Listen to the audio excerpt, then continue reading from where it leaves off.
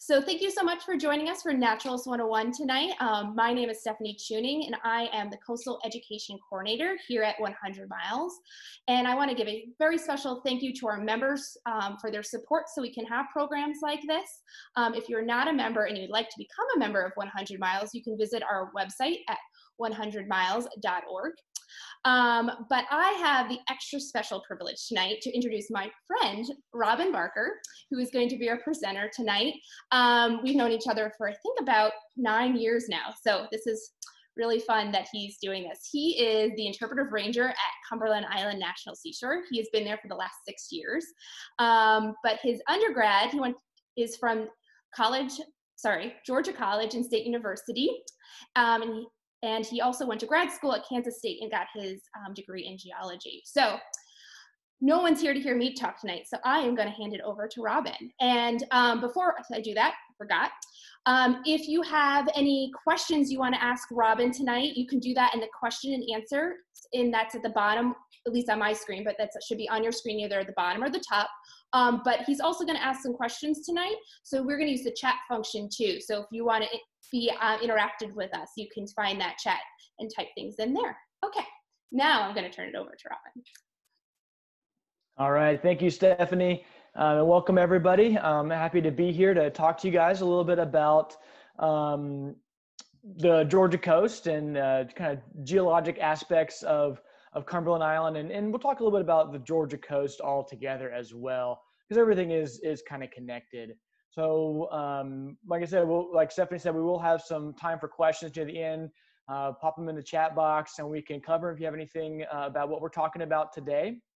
Um, also, you know, just as an overview, we're going to go over um, a little bit of the Georgia coastline in general from a geologic perspective. You know, what is a barrier island? How do they form? And then we'll kind of go back in time a little bit and walk through uh, the history of the formation of specifically Cumberland Island, um, but um, it, a lot of it is related to other islands here in Georgia as well. Um, and so, you know, obviously I give this talk um, on Cumberland Island um, and to, um, so it's going to be specific to that, but things do apply for other aspects of the park or of the, of the Georgia coastline, excuse me. All right, so um, we'll go ahead and start, you know, by uh, talking a little bit about what is a barrier island. Uh, what you see here is kind of the textbook definition of a barrier island. It's kind of full of some jargon, and um, basically, it's a uh, parallel accumulation of sand and sediments that is separate from the mainland um, from uh, by a, a, bay or estuary or, or wetland complex.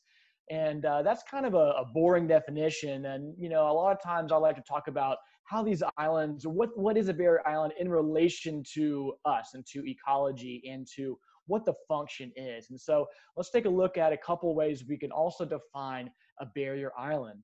You can, you know, talk about a barrier island as a coastal feature that serves to protect the mainland and our communities from storm surge and other uh, effects from the ocean. There's a lot of violence and, and energy in the ocean.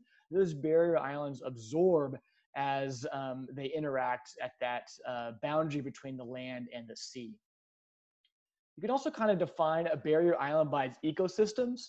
Uh, usually you've got a marsh in the backside of an island, the landward side of the island, uh, a maritime forest or a forest by the sea in the middle of the island, kind of holding it all together.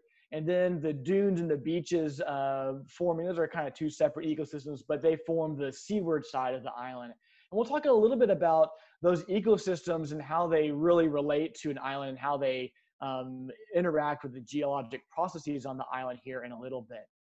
You can also talk about an island as relation to humans.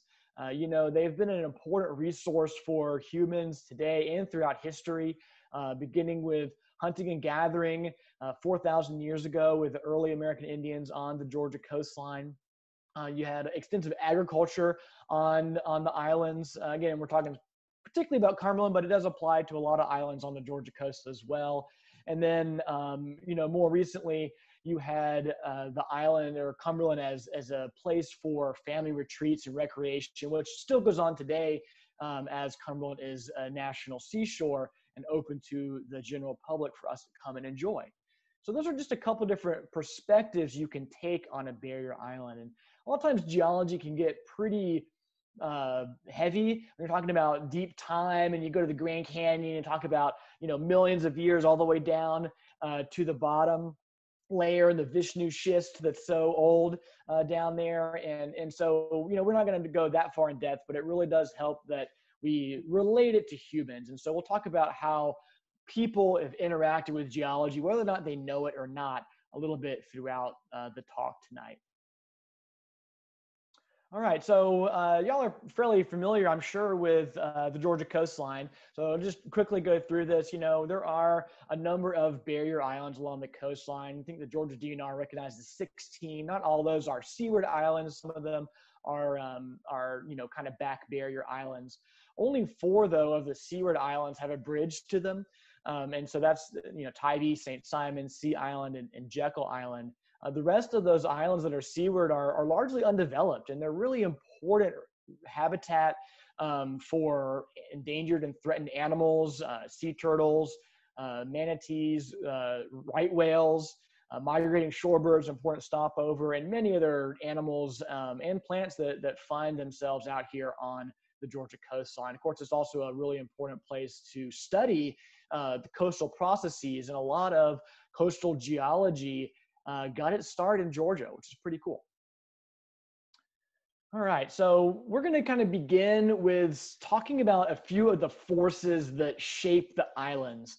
Um, and before we go into how they form, so kind of talk about what the shape is today, and then we'll go we'll go back and talk about their formation. So this will be an opportunity where I want y'all to kind of interact here. Of these four forces, the longshore currents, waves, tides, and wind, which of these do you think has the most impact on the shape of the barrier islands that we see today here in Georgia?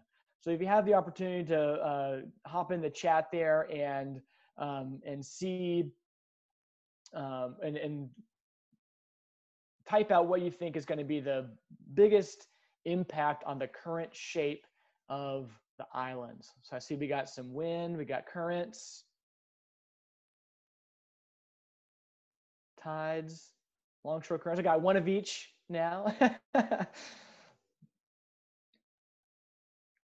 Great. Yeah, so we're getting getting quite a few longshore currents. All right, cool. So y'all can continue to, to, to pipe in, but you know the way I phrase the question is what force has the largest impact on the overall shape of our islands that we see today? And while all these forces do interact and do shape the islands, really our islands here are tidal influence. They're, they're influenced by the tides. And we'll go over why the tidal influence is so great on the islands and compare waves uh, versus tides and longshore currents and all those kind of things here as we go. But tide is really going to be the biggest influence on the overall shape of our islands here on the coast of Georgia. Um, there's also two other forces here, storms and, and humans. And uh, hopefully if I don't jabber on too much at the end, uh, before we have time for questions, we'll talk a little bit about some storm and human impacts on barrier islands uh, here in Georgia as well. Okay, let's start with longshore current. This is something that everyone's probably experienced uh, before if you go to the beach you go out to the beach, you set up your beach towel and your cooler and your umbrella and your, you know, your cooler full of water, right? And you're out there and you go swimming to cool off and you're just floating in the waves, enjoying it. And all of a sudden you realize that somebody has picked up your stuff and moved it way up the beach. You know, how rude, you know, not respecting your, your stuff. Well, you know that your stuff didn't move, but you have drifted along the shore. And this is due to the longshore current. And this is a current that forms from waves striking the coastline at an angle. And that creates a current that moves along the shore. So next time you go out to the beach, look very carefully at the waves. It's hard to see the angle from the shore, but you can see that action, that kind of circular action from the waves. So you watch the waves, very rarely do they go straight up and back. A lot of times they, they kind of windshield wash up and over. So they kind of do this washing thing. And that's the result of that longshore current going along the shore there. And this is a really important current. This does transport sand along the shore and between the islands. And so that does play a significant role in the, the movement of sand on the islands. Um, and, uh, and, and is a really important transport mechanism. And it also is, is probably the biggest thing that humans impact by hardening the coastline and constructing uh, hard barriers along the coastline. And so the longshore current does play a pretty important role in, in the coastal geologic processes. All right, now um, really the, the shape of islands overall, barrier islands uh, are, are really gonna be either waves or tides. Those are the two predominant forces that kind of provide the overarching shape of the of islands. And so when you have uh, wave energy that dominates the coastal island formation, you get very narrow, uh, skinny islands. So long, skinny islands. Okay. So these uh, images here are from the Gulf Coast um, of, of, Florida and the Gulf. Um, yeah, I think I've got on the right is uh, St. George Island uh, where you know, you've got a long, skinny island uh, uh, in front of Apalachicola Bay, and then these are some of the uh, uh, Outer Bank islands in North Carolina on the left. So you get long, skinny islands, and waves are the dominant energy source. However, when you have tide as the dominant energy source, you get islands that look like this. They look like a turkey leg.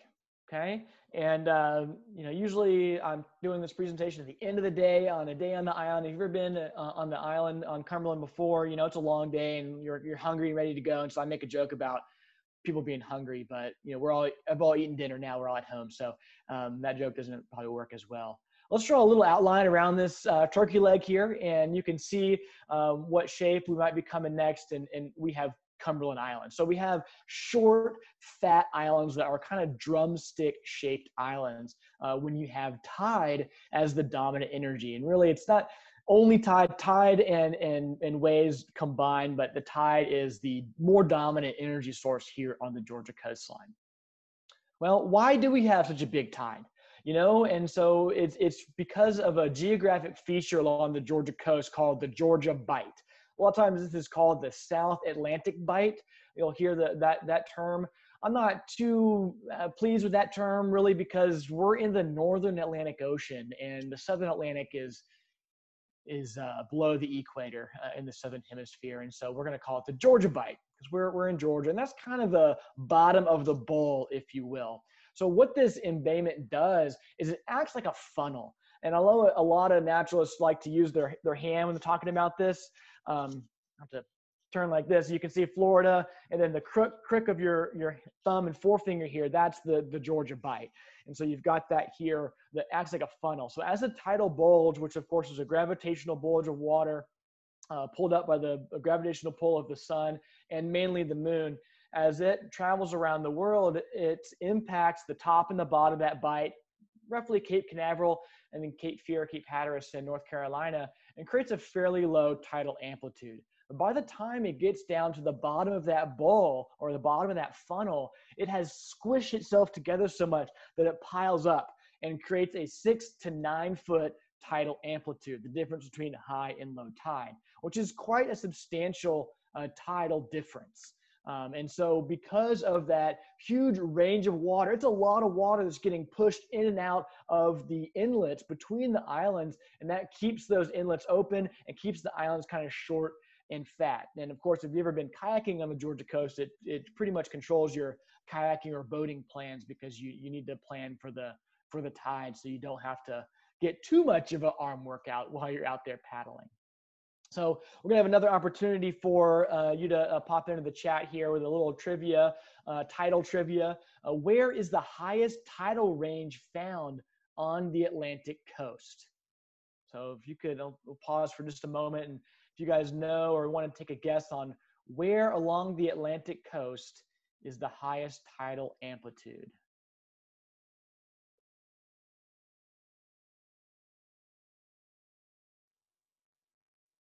Cumberland Island. Oh, so sweet Cumberland Island, but no, it's not Cumberland. Let's see. Let's see. Yeah, we got a couple, couple of correct answers there. It's going to be in Canada, the Bay of Fundy. Yeah, so that's that is correct. Y'all are y'all are right, right on the bat there. Um, Bay of Fundy, uh, Nova between Nova Scotia and New Brunswick, and they have a, a 50 foot tidal range. I mean, that's huge. Um, and so people, and you can watch it on YouTube, time lapse videos. It's quite interesting to see. People will go out there on rafts and, and uh, whitewater rafts and wait for the tide to come in. It's called a boar tide, like a like a wild pig, because it comes in so strong like a wave. So it's it's pretty impressive there. Um, on my bucket list to go up there and see that they'll have not made it made it up there. So you know, tide is a pretty strong factor in um, in how these islands get their shape here in Georgia in that drumstick shape. All right, so let's uh, let's move on. So, you know, all these forces are acting on the islands and their wind is blowing sand. The waves are moving sand around, creating the longshore current, which is moving sand between the islands. You know, how do they stay together? You got these storms coming in. How do the islands hold themselves together? Well, we look at the cross section. This is the cross section from the Georgia DNR. Uh, when you look at that, it's, you know, you see this transition of ecosystems from the marsh to the forest to the dunes and the beach. And those ecosystems are intimately interconnected and they each kind of feed themselves uh, in some degree. So let me let me kind of explain what I mean there. And so if we kind of start by these three ecosystems, you notice the pictures are are out of order according to the island, but they are in order of their interaction. So we'll start with the salt. Oh gosh, almost knocked myself over there. Uh, sorry, Steph, a little technical thing there. Okay. All right. Um, um, start with the marsh where you've got uh, vital habitat. You could do a whole presentation just on the salt marsh and its importance. So I don't want to belabor that point. However, in the fall, right around now, you'll see it, especially with the really high tides, the king tides we've been having with the perigeo uh, moon, the moon being so close to the earth right now, making our tidal range really, really quite high. You've got the marsh grass kind of dying back and and floating around in the water. And the tides will push that the marsh rack out into the beach or on into the ocean, and the waves will bring it back onto the beach. And that marsh rack will wash up, forming the rack line, and it'll uh, you know be little uh, pieces of, of grass on the beach. And then as the wind blows sand, especially during the winter when we have these really strong nor'easter storms that are blowing sand along the islands, that pile of grass is going to capture the sand. It's going to act like a screen and hold all that sand together. And then it's going to form baby sand dunes. And over time, those dunes build up, and then sea oats start to grow in there. And sea oats are a really amazing plant that um, act to hold the sand together by uh, building uh, building roots. Now they don't necessarily they have a deep root system, but they don't grow deep roots. As those sand dunes grow, they send out new roots in those layers to hold those sand, dune, sand dunes together. And so they kind of act as a, as a feedback and, and, grow the dunes and the sea oats grow with them. And of course, the sand dunes, having a really mature sand dune system like we have on Cumberland Island, it really helps to protect the forest. Um, I think I have little arrows here. So we'll go now, we're going to the forest. And so the forest um, the live oak trees, the really shallow spreading root systems, they hold that sand together and really keep it from eroding. It's not very fertile uh, uh, soil necessarily uh, because of all the sand leaches the nutrients out, but it really holds it together and, and creates that, um, that structure in the island, which of course, having a stable structure to protect it from the ocean and the waves and the storms allows the salt marsh then to uh, be protected and thrive. Uh, hence, kind of completing the cycle there. In as you can see by my arrows, uh, making a happy barrier island with our little cheesy smile here. So these ecosystems, and this is an interesting thing in geology. You know, we talk about geology and then biology and meteorology and all these different sciences that are talking about different aspects of the earth, but really they are all connected. You know, and, and barrier islands are a great example of how the biosphere and the geosphere are connected um, and, and support each other and interact with each other in a way that uh, creates a, a, really wonderful um, environment for, well, not just for us to enjoy, but an environment in general for uh, unique plants and animals to find their homes. Okay, um, of course, you know, just a, as a side note here, you can't have an island without sand. So where does the sand come from? You know, this is a, a, map showing the drainage basins uh, in Georgia that drain into the Atlantic Ocean. And so these, you know, more the majority of the land area in Georgia does drain into the Atlantic Ocean.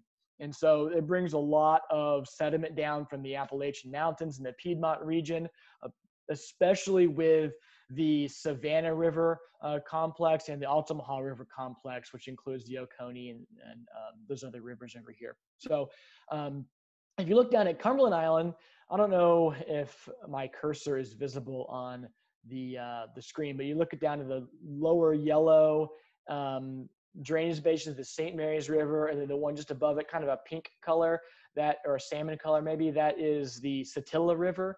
Those are coastal plain rivers. They don't bring sand down from the Piedmont. They bring mud and you know swamp water down from the Okefenokee and uh, is mainly a, a, a saltwater um, thing. Oh, oh, thank you, Richard. So yeah, these these down here, Cumberland's right in between uh, these two river basins right here. And so um, a lot of the sand that has come down from uh, the Appalachians has come down so long ago and it's gone out to the ocean and it's been reworked in the in the waves and um, so much in the in the currents of the ocean that by the time it gets to the beaches, it's really fine grained. We don't have a lot of really coarse sand on the beach here in Georgia because that's really what I call mature sand. And um, we'll kind of maybe come back to that near the end when we talk about um, some of the human influences on the coastal islands. Okay. All right. So that's a little overview of what we're looking at uh, in the shape of the island, some of the forces that control them, and um, and how they interact with the biosphere here on the coast. And so now we want to take a little bit of time. We're going to go back in time and talk about uh, some of the history of the Georgia coast. And this is again where the part in geology where you can get kind of lost going back in time, talking about these kind of difficult geologic names of, of past eras and eons and epochs. Uh, we're only going to go talk about two um, geologic time periods here, uh, the Miocene and the Pleistocene. We're not going to go back as far as you know, what you might experience in a geologic talk in the Grand Canyon. Um, but um, what we are going to do is talk about these two time periods. And of course, the Pleistocene is more commonly known as the Ice Age.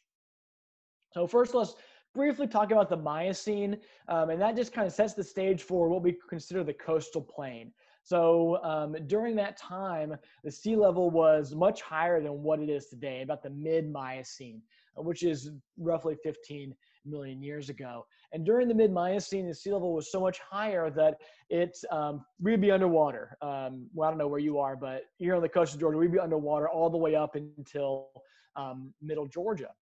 And over the uh, eons of time of wave action and energy along the coastline, it started to erode the rock away there on the coastline and created a small escarpment or, or a small cliff or, or, bluff, if you will, and, um, and eroded that rock away there.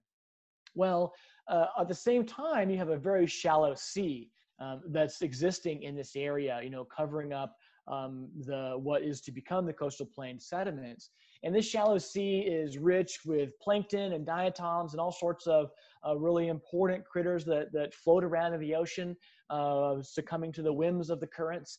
And so these things are living, they're making oxygen, and they're dying, and they're snowing down on the bottom, uh, depositing a thick layer of, um, of carbonate ooze, which is a, a great a great term.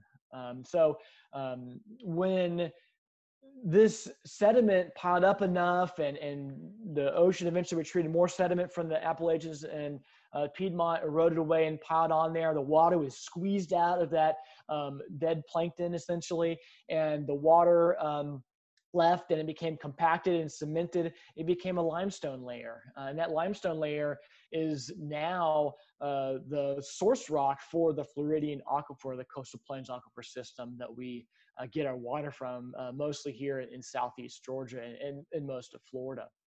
And so um, the sea goes down, right? And we have these sediments that are accumulating on top of that limestone or what's to become limestone. And you fast way, way, way forward to human times, okay? Uh, when we go into uh, the, you know, uh, early colonial and exploration era on the Georgia coastline where you had people exploring and, you know, first settling on the coastline and then moving up the rivers. And they found the rivers on the Georgia coastline uh, quite easy to navigate. They were wide, they were pretty deep, there were no rapids or rocks in the way. And so they could bring their ocean going vessels quite far up the river until they got all the way to um, uh, a line of waterfalls. And uh, they said, oh, we can't go any further uh, than this. And so they kind of pulled over and started establishing settlements along that waterfall line. We now call it the fall line. And the towns of Columbus, of Macon, Milledgeville, and Augusta in, in Georgia um, all are established along this fall line or ancient waterfall line that denotes an ancient coastline. And so that's just, again, one factor that shows how geology has influenced human settlement. Whether or not they definitely did not understand the forces that have shaped and the geologic history that shaped the coast and the uh, middle Georgia area to bring upon that geographic feature, but they uh, reacted to it. Um, same type of thing is happening along the coast of Georgia, or happened when these uh, towns and cities were developed there um, that we'll talk about here in a little while. All right, so let's go to the Pleistocene. Um, well, I think what we're going to do now is actually zoom in a little bit on the coast and, and, and talk a little bit about how the geogra- uh, geologic history of the coastline was kind of uncovered um, because you know it's one thing to talk about science it's another to tell the story of how the science came to be and how the understanding uh, came there. And so when you uh, zoom in on the geologic map of georgia I'll move my chat box here so I can see. Um, you see the um, the orange and the yellow, and geologists started to find these um, kind of parallel ridges of sand uh, along that are parallel to the shore and kind of start asking questions you know what are these? You know are they are they sand dunes? Are they you know what are they? How do they form? And so what is going on here and so what they did is started to investigate and looking for evidence you know uh, ancient uh, evidence of of past life uh, that could tell the story and so what they started to do is find fossils. And one particular trace fossil allowed the geologists who were studying these sand ridges to uncover what they were, which really opened the door to telling the story of how the Georgia coastline formed. So there's going to be another opportunity for everybody to chime in on the chat on which animal or which fossil, trace fossil, do you think they found that would um, help identify what these ancient sand ridges are?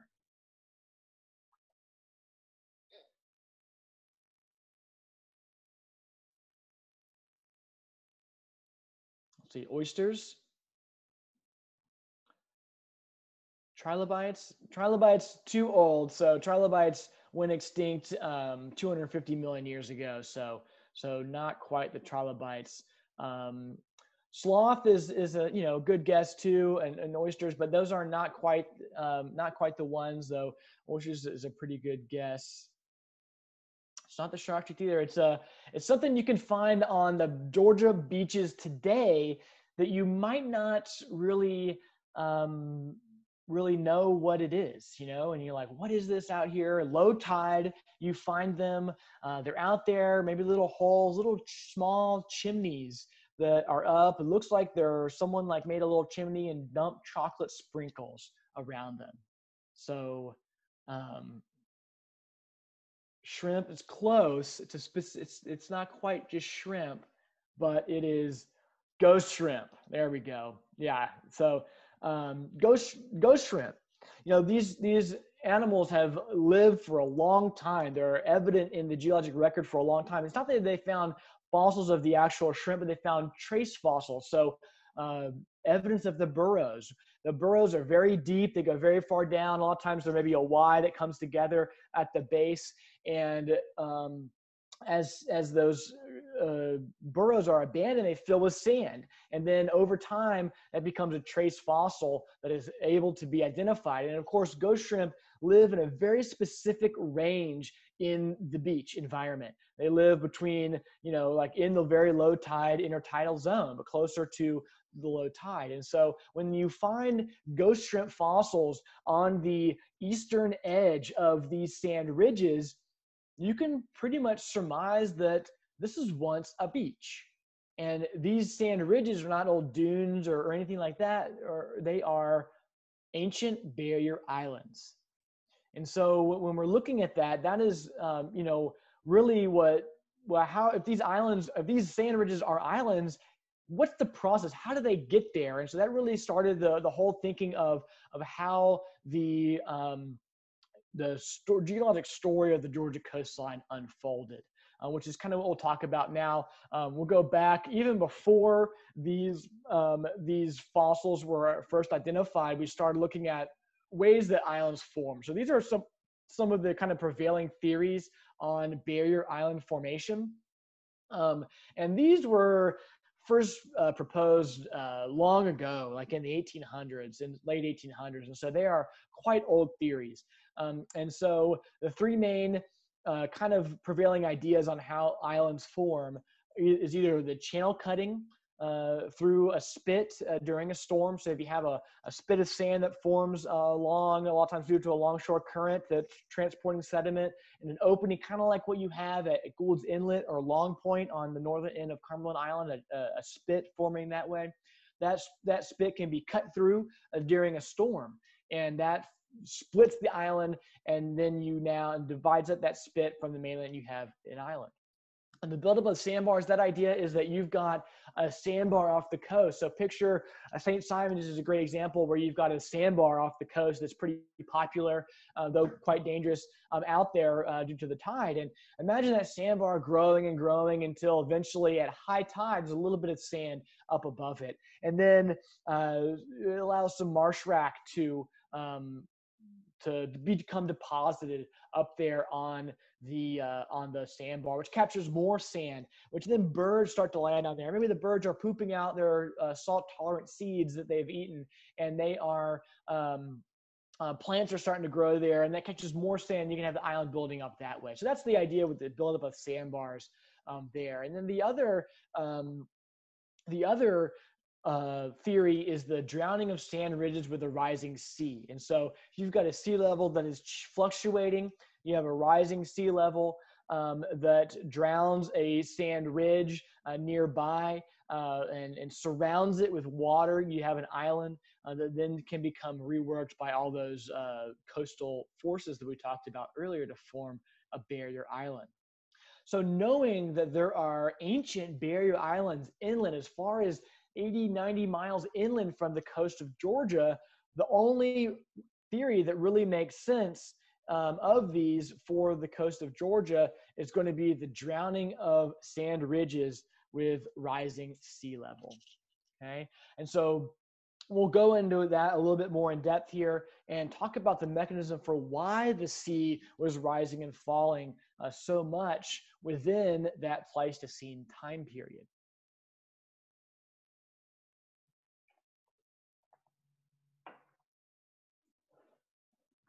All right. So again, I kind of uh, explained this a little bit already. So just in brief, you've got a, a sand ridge uh, or some sort of high hill elevated area along the coast. And as the sea level rises, it's going to flood the low areas, the river basins, the floodplains, the marshlands, and the low lying land first. And then it's going to leave and surround those higher ridges uh, and maybe they're uh, exposed they're able to catch sand and uh, build up that sand uh, with sandbars coming on shore and forming a new island.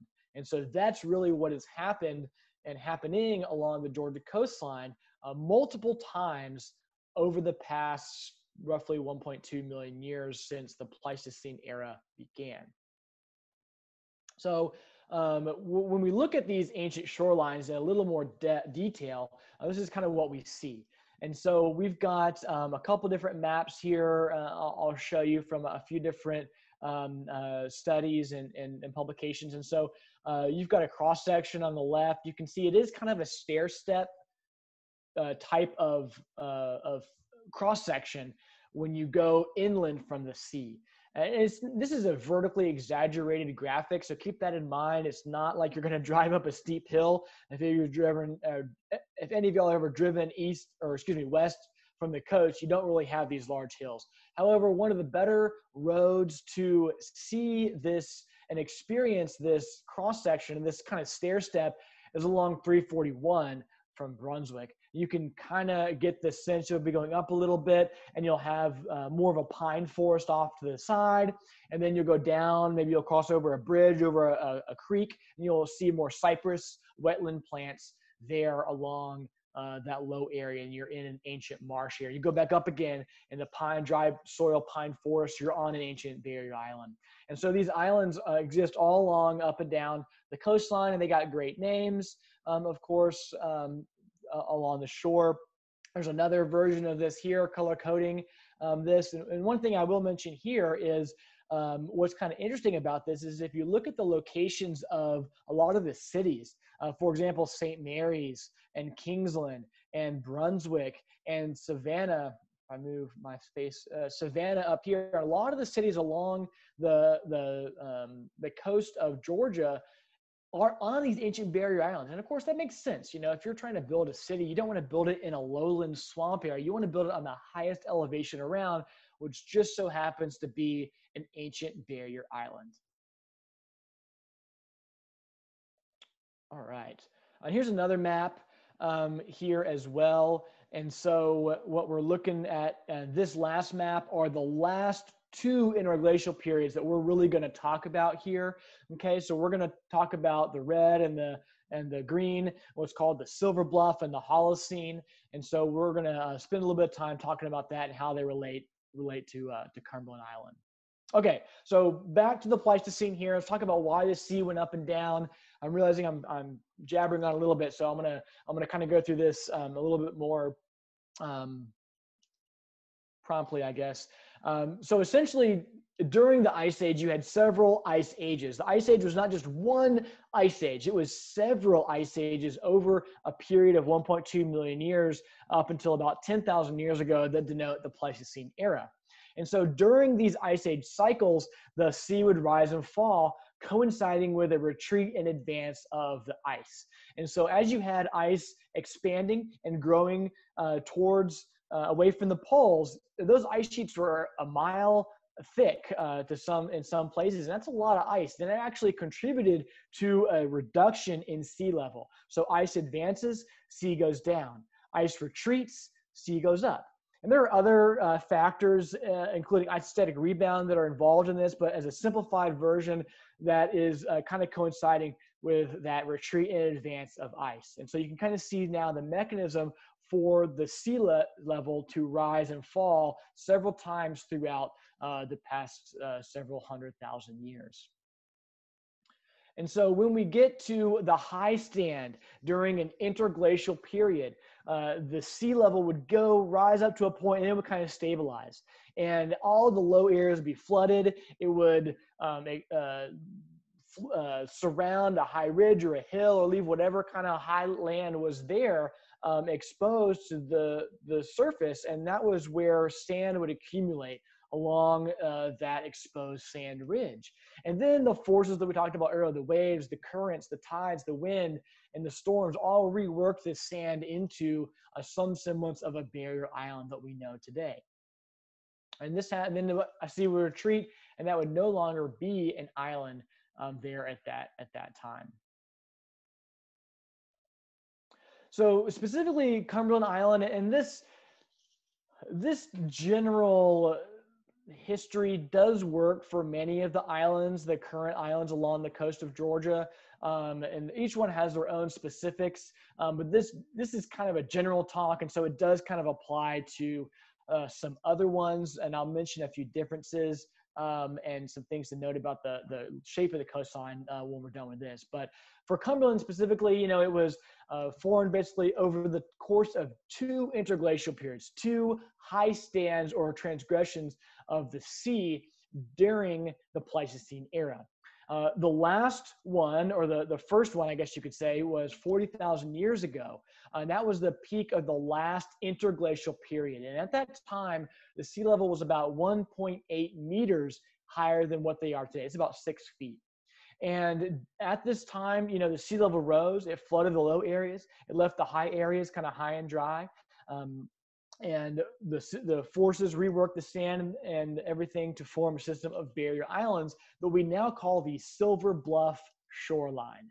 Okay, so the Silver Bluff shoreline on our map on the right is all of the red um, portions of the islands um, here. So Cumberland's at the bottom. It's kind of the, the middle portion of it that we've got a little bit more detailed map coming. So what happened next is also really important to the story. We entered the last ice age, um, beginning about 25 20,000 years ago, um, and ending about 10,000 years ago. And you know, during the peak of this ice age, the sea level retreated uh, so much it dropped about 400 vertical feet and retreated 75 to 80 miles out to the continental shelf. And so us here on the Georgia coastline, we were no longer on the coastline. We were 80 miles away. And we're just in the interior now. So these islands were no longer islands, they were just hills, just sand ridges. Now, the rivers were still charting the same courses, they're still cutting deeper and deeper um, into that surrounding sediment, which is why they're uh, relatively deep today. And during this time is a really important time. You had a shift in, in kind of ecology during the ice ages, the glaciers and, uh, and ice caps uh, came down and migrated down all the eco ecosystems kind of shifted south as well. So we had a more similar ecosystem than what you might find in central Georgia. More deciduous trees, um, more um, of those types of plants and animals. This is where you do have those sloths um, and giant ground sloths and, and mastodons and those types of animals that fossils have been found in the back barrier lagoons and estuaries in the coast of Georgia. Uh, those all uh, critters were out here during this time. What's really important though is that soil developed um, along the, coast, um, particularly on, again, you know, we're talking about Cumberland here. So it really developed a rich soil profile on Cumberland Island. There's a lot of folks, you know, a lot of times when I talk about the extensive agriculture that went on during the plantation slavery era on the island, you know, people are kind of surprised that so many things were grown, not just cotton and rice, but oranges and olives and lemons and um, pomegranates and figs and all sorts of interesting crops. And it's really due to the soil that was formed during this time. You had a long period of time where the soil developed. Okay. And so, and then of, of course, the ice age eventually ended and we entered the Holocene time period. The sea started to rise again. And it, it rises up until about 5,000 years ago. And it was at this point when the sea level rise slowed and the sand that was being pushed up along with the rising sea level started to wash up on shore of that Silver Bluff Paleo Barrier Island and started to weld onto it. And so we kind of have a combination of islands here. We have the interior of Silver Bluff sediment, that higher elevation, older sediment, rich soil profile, and then a kind of rim of Holocene age sand where those two kind of uh, barrier island systems started to kind of collide together. And so looking at a, at a more detailed map, you can see Cumberland Island on the left here. Um, the Silver Bluff is outlined in the white here, and all the remaining, including the little, the southern portion of Cumberland Island, all the beaches and dune ridges, all the way up, including Little Cumberland Island, are all sediments that were deposited about 5,000 years ago. And just to tie us back into the human history, looking back at the history uh, again of Cumberland, you had Major General Nathanael Greene purchasing a one half interest in Cumberland Island uh, to cut down the, the timber and to try and make back money from debts he incurred during the, the Revolution. Um, and he wrote about Cumberland Island and how how valuable the land was, particularly for agriculture, and how great the soil was uh, there. But he said paraphrasing, of course, uh, don't bother with Little Cumberland because the soil up there is not as rich as Greater Cumberland Island. Didn't recognize the reason. However, Little Cumberland is such a more recent island forming only about 5,000 years ago. It has not had the time to develop that rich soil profile like Greater Cumberland Island um, has as well. So that's kind of how we get to the islands. And like I said, it is a kind of similar story along the Georgia coastline. One thing, though, I do want to point out on the map, if you turn your attention to the map, um, the, the kind of red and green map, let's look at St. Simon's Island and also the northern uh, portion of Georgia coastline, Ossabaw, Wassaw, and Tybee Island. You know, there is a wedge, and it's really pronounced up near Savannah and those uh, northern islands there is a wedge of marsh in between those islands, you know, and so you have a lot of marsh between there. While you know, St. Catherines, Blackbeard, Sapelo, and Cumberland, Jekyll, the, their Holocene sand is welded right up on the Silver Bluff sand. What's going on there? Well, what's happening is rivers uh, transporting sediment. You've got the Savannah River uh, coming into uh, just north of Tybee, depositing a lot of sediment, which uh, has built built out those marshlands. Same thing with the Altamaha River, one of the largest um, undammed river complexes on the East Coast that um, has um, uh, brought a lot of sediment down to uh, this area and kind of facilitated the split between Little St. Simons Sea Island and, and, and uh, Greater St. Simons Island.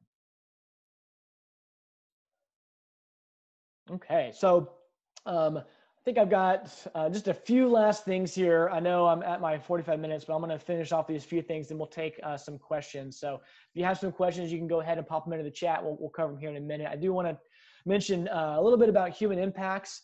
Um, one thing, you know, Cumberland is kind of a lot of times advertised as a pristine barrier island. Um, though, if you know anything about the history of the island, you know, pristine is not necessarily the best word for it because um, humans have utilized that island, including clear cutting and agriculture and Carnegie's building a power plant and building vehicles, all, all sorts of things, bringing vehicles, not building them, uh, out on the island. That, that, it does have a lot of impacts, uh, including the jetties that were constructed on the south end of the island in 1881.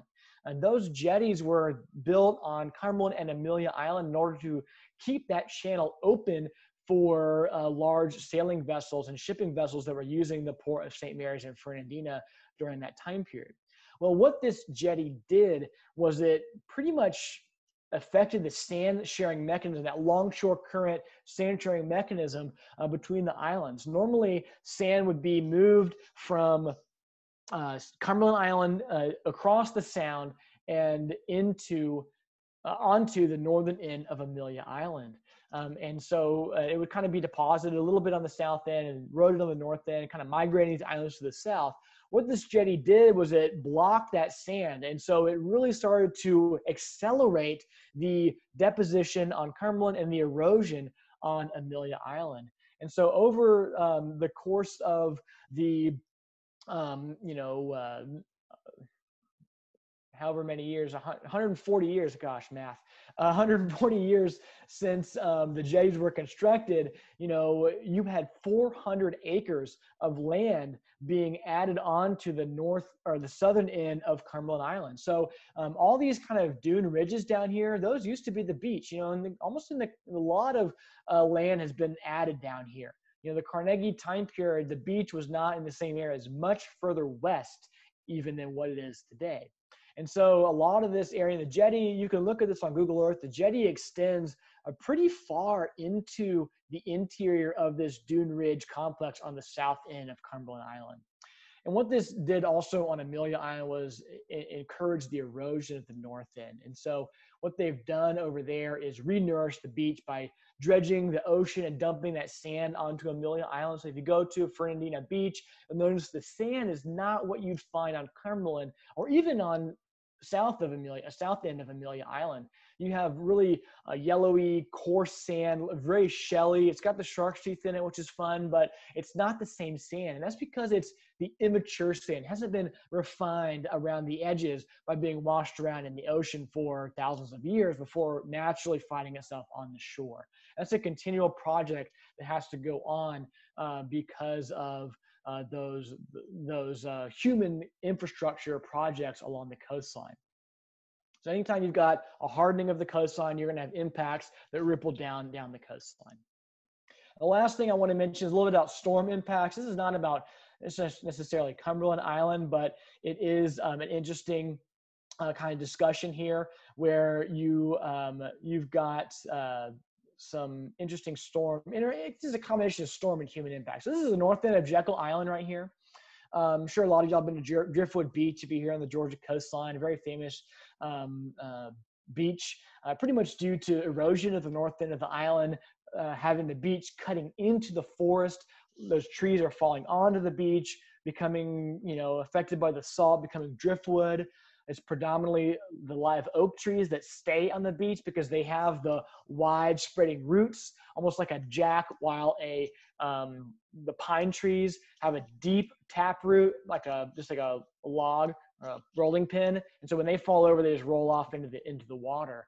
And so you've got those differences um, why you see the trees there. Well, a lot of the erosion has increased due to the dredging of the channel, the shipping channel there in, in Jekyll. And of course, erosion of the north end of an island is natural, but these human influences have increased it. And then you combine those human erosion impacts with storm impacts. Okay, so I'm going to have a series of images pop up here. So this is a satellite image from 2015 that shows the north end of Jekyll Island. So uh, again, if you can see my cursor, there's the fishing pier. This is the uh, Clam Creek that winds through here. Driftwood Beach is right around in this area. You can almost see the boardwalk or the pathway that leads over to Driftwood Beach right here. So I want you to focus your attention again.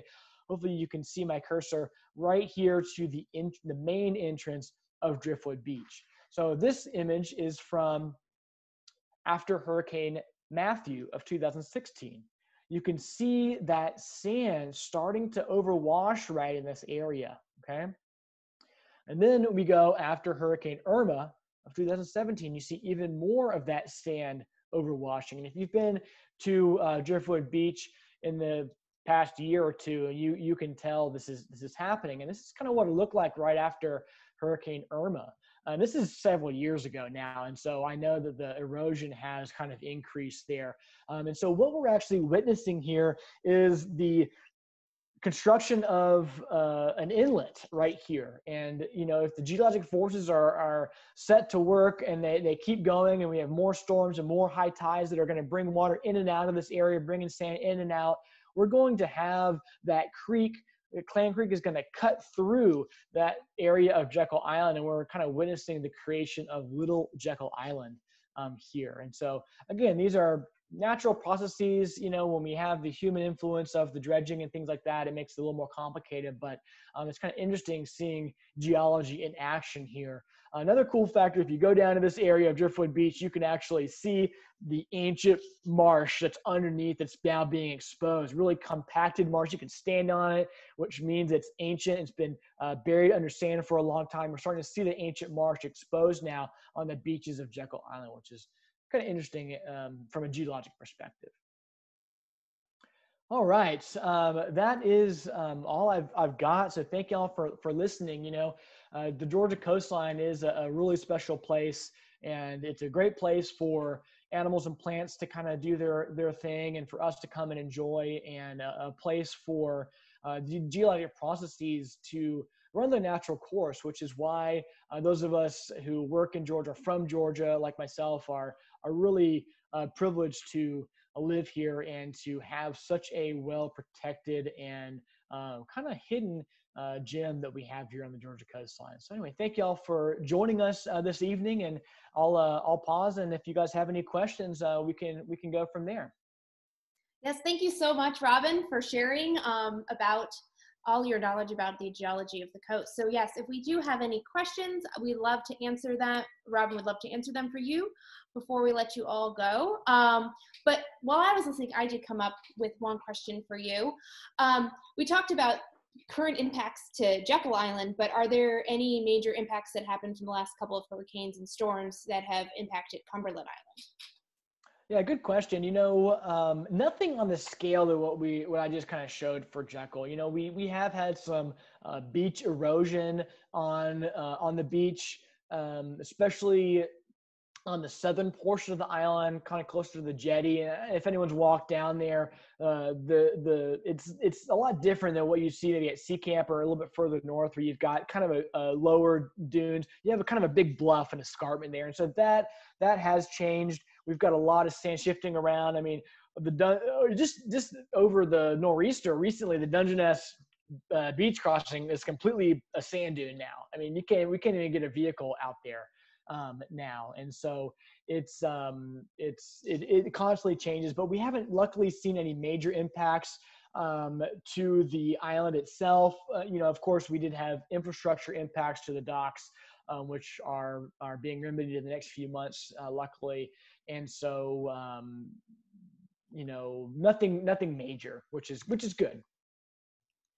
Excellent. Well, if anyone else has a question, I would love you can add them um, either to the chat or to the question and answer. Um, there was a question for me. I will answer quickly. Um, this program was recorded and will be posted to um, our YouTube channel. And if you had signed up through our form, you will get an email when that is posted, so you can revisit this lecture anytime you want. if you need help sleeping. Oh. Well, I don't know if we have any other questions for you tonight. We do have a lot of thank yous coming in, um, which, of course, uh, we always love to hear from our coastal partners. Um, I will give a little announcement. Our next lecture is actually going to be on December 3rd, which is much uh, earlier in the month than normal. Um, and it's actually going to be about deep sea mounds that have been found and some deep sea corals that have been found off the South Carolina and North Carolina coast over the last couple of years. Um, so you won't want to miss that um, as well. Um, okay, sorry, just a comment came in. Um, so thank you all for joining us tonight, and um, we hope to see you at another program soon. And a special thank you for Robin for joining us this evening. And we'll see you all soon. Thanks. Oh, I think we had a texted question. Oh, sorry. Okay, One more question yeah. before I let you go. Sorry. Yeah, yeah. Telephone. Um, was the ocean noticeably saltier during the last ice age? Hold on. I lost my text. Um, was the ocean noticeably salty during the last ice age with so much ocean water locked up in the ice caps um, on the mainland? That's a good question. Um, ah, man, I'm not gonna be able to answer it off the top of my head. Um, I don't know if it was going necessarily going to be um, that much saltier. And there are a lot of natural uh, balances within the ocean that kind of reg- self regulate a lot of the uh, salinity in the ocean. But unfortunately, I'm not going to be able to answer that uh, satisfactorily um, uh, tonight. So I, I don't want to say something that is incorrect. But um, I don't think it was going to be that much of a change um, compared to what you might see in a deep saline aquifer or something like that. Okay, well, thanks for answering as best you can. I didn't answer that one either. um, well, again, consult my textbook. well, thanks again, Robin. Uh, thanks for joining us um, and teaching us all more about the um, geology of our coast. Um, and I hope you all have a happy and safe Thanksgiving. Well, have a good night, everyone. Take care.